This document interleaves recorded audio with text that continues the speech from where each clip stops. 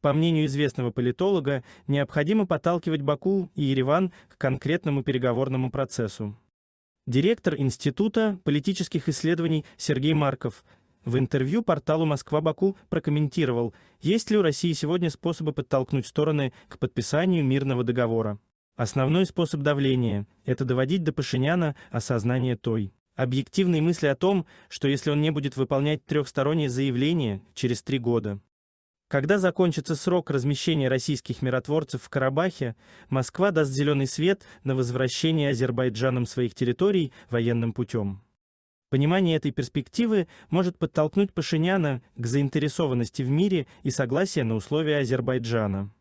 В целом же нужно продолжать подталкивать стороны к конкретному переговорному процессу и обсуждению всех сложных вопросов.